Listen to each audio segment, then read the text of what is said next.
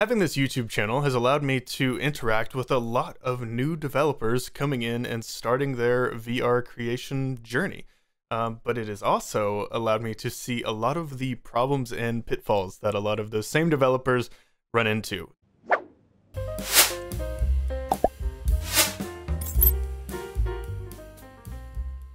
So today I figured we would talk about a few of those mistakes um, and what to kind of look out for in your own VR journey. So, number one is new developers jump headfirst into VR without learning the Unity basics.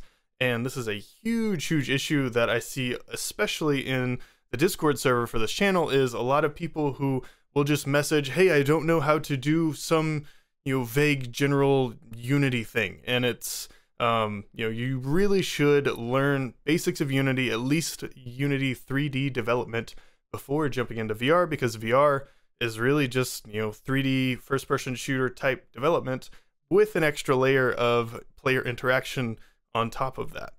Mistake number two that I see a lot of new VR developers making, and it's kind of in the same vein as the first one, and that is the new devs neglect the coding knowledge as well. So they uh, are jumping into this VR development. They don't know how to code, and they also don't really know how to do Unity, and that just creates a huge mess because honestly, you know, I could argue that 70 80% of VR development is coding or just general game development in general is going to be C sharp coding specifically for Unity.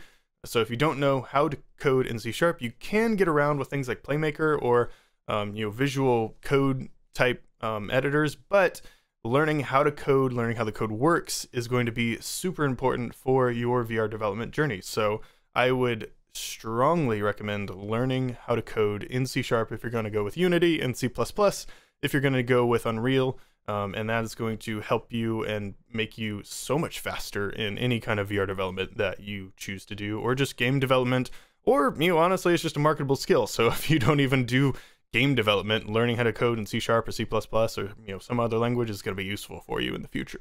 Mistake number three is watching too many tutorials and not getting enough practice. And I have personally fallen into this mistake as well, where I will buy so many tutorials um, and I'll you know get through and watch a decent amount of them.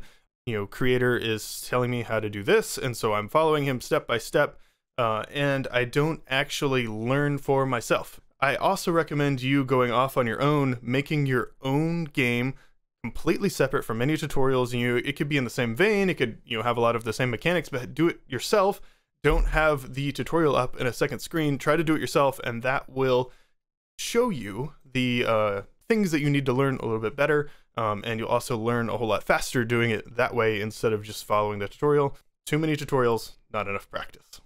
Mistake number four, and this one is overlooking optimization. And this is a side effect of a lot of these tutorials because tutorials are generally oriented towards, okay, how do you get this specific mechanic to work? And that's it, that's all we think about. But if you look, take a step back, look at the game as a whole, you have to have to optimize, have to make your code easy to change and manipulate, um, and you add on to uh, maintain is uh, you know what software developers use. Have your code be maintainable. The last and final mistake that I see a lot of you making is never getting feedback on your games. So never publishing your games, building them, showing other people. I highly recommend, and this is on another really good way to learn is to you know put yourself out there. Whether it's starting your own YouTube channel to show others your development process, or even just posting on Reddit gifs and images of your game development and your process. Um, you know, just interesting things in your game. I highly recommend just you know sharing your work. Um, there's a channel in my Discord that is called Self Promo, and you are more than welcome to share screenshots and videos in there. So, what do you think? Have you fallen into one of these mistakes?